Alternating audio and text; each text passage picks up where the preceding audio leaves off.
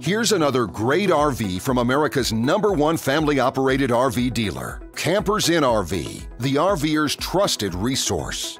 Hi there, this is Nadi. Today we're viewing Chateau by Thor, unit number 31EV. Follow me.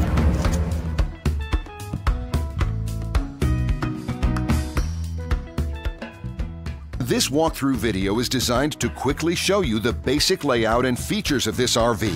If you're viewing it on our website, you'll find all the specifications right below this screen. But the best way to view this beautiful RV is to put yourself in it. Stop by your local Campers Inn RV dealership today to see and feel the difference when you're treated like family.